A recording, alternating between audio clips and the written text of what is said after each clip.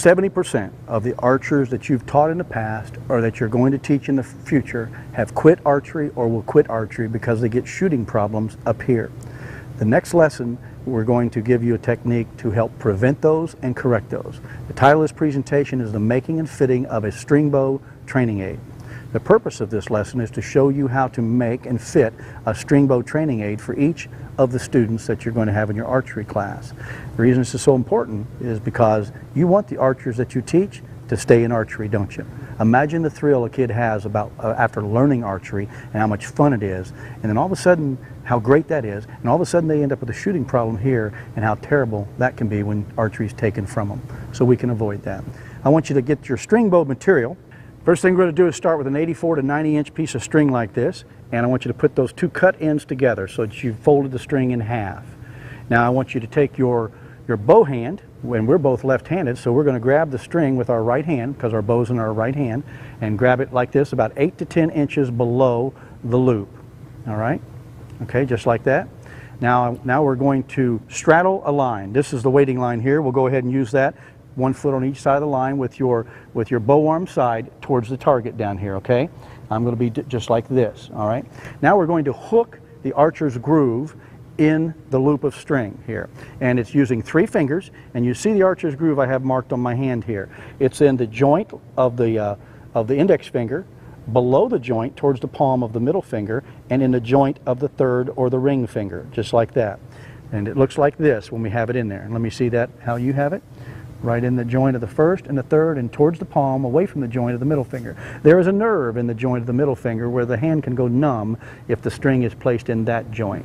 All right, now you have it hooked. Now I want you to drop your bow arm at your side just like you have here and I want you to raise or hinge your bow arm up towards the target and pull, let me get mine straight here, pull the string back anchoring the top finger in the corner of your smile. Put the top finger, all three fingers should be level, and put the top finger in the corner of your smile. Your thumb should be folded down in your palm, just like that, just like this, and look towards the target. All right, now drop the string from your face and pinch where it goes into your hand. We're going to tie a knot there. This is the hardest part about making a string bow. Tie that knot with one hand right where you pinched it.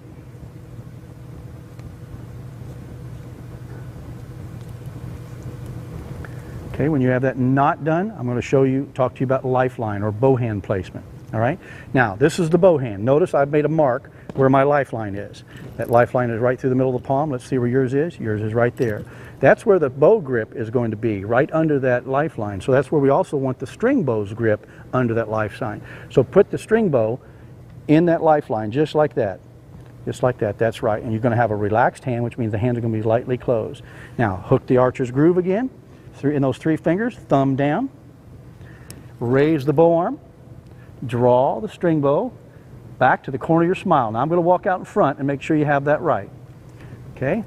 Your index in the corner of your smile, your thumb's down, you're in the lifeline. Go ahead and turn your hand just a little bit this way and have a very relaxed grip. Is that relaxed? All right. Now see if your, will your elbow pull back just a little further. You can lower it a little bit.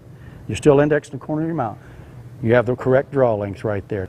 All right, there are three overhead views of, a, of an archer here with various, ver at various draw lengths. The one that's correct is the one clear over here. And imagine, I'm imagining a line drawn from your bow hand through your anchor beyond your elbow. And your elbow should be slightly in front of that line.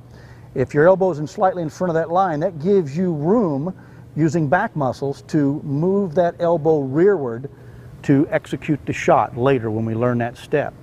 If you're too short, if your elbow is far too uh, away in front of that line, then you're going to be holding the string with your biceps. It's going to be harder, holding the bow's weight with your biceps, it's going to be harder for you to get that back motion in to execute the shot.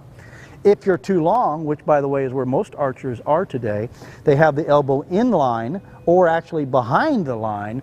Now you are so overdrawn that it's very difficult to use back motion to execute the shot. So you want to be right here with the elbow in front of that line. Now Gary, I want to show you a couple of ways that you can, that'll help you see whether or not the string bow is, is the correct length or not. And one thing you can do is have your archer go ahead and correctly uh, place the string bow and come to full draw, anchor in the corner of the smile, and then have them bend towards you at the waist, and you can see that line.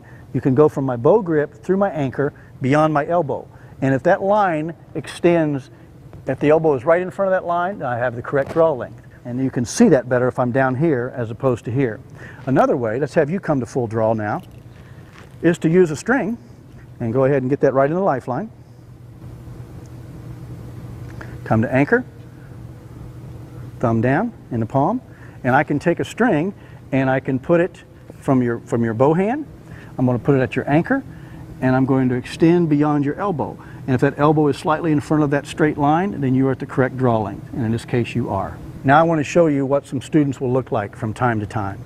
If they are short drawn, they're going to have the bow, they're going to be like this. And see how that elbow, just like that drawing, is way out there like that. A beginning archer will oftentimes look like that. Obviously you want it to get extended like this. A long drawn archer is going to look like this.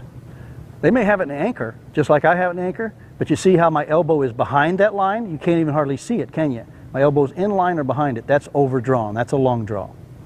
Now let me show you a couple things you'll see, Gary, with the with lifeline placement. You notice what we're doing is we're putting the, li the string bow right in the lifeline like that. Once in a while, you'll see an archer have it way out here on the thumb.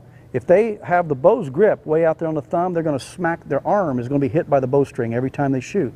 Or if they have the string way down here on the heel of the palm like that, which a lot of archers do, they'll also hit their arm with the bowstring. So you want it right in the lifeline, and by turning the hand on a 30 to 45 degree angle, which we'll learn more about later, you can keep it there. There's one more step we need to do, and we need to make a sling so that you'll be able to keep this bowstring, this string bow in your hand.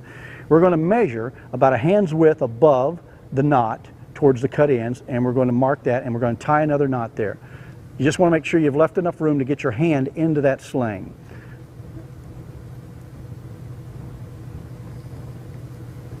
Once you have that on there, then put your bow arm, bow hand through that sling, just like that. And sometimes the string bow isn't long enough and it won't be enough string to make a sling, but for most people they can. Now you have to reset the bow, the string bow's grip on your lifeline. Put your thumb in the big loop. And I find it's easy if I hold the knot with my finger on that in that lifeline and then I can put a little tension on it and it'll stay there just like that. Okay? Let me see there. You've got it in the lifeline. Okay? Lightly close your fingers. Okay? That's the proper string bow and I've made sure that it's the correct length still. Now you've learned how to make and fit a string bow training aid. During the next lesson, we're going to use this string bow to learn the 11, 11 steps to archery success. And you're going to look like this.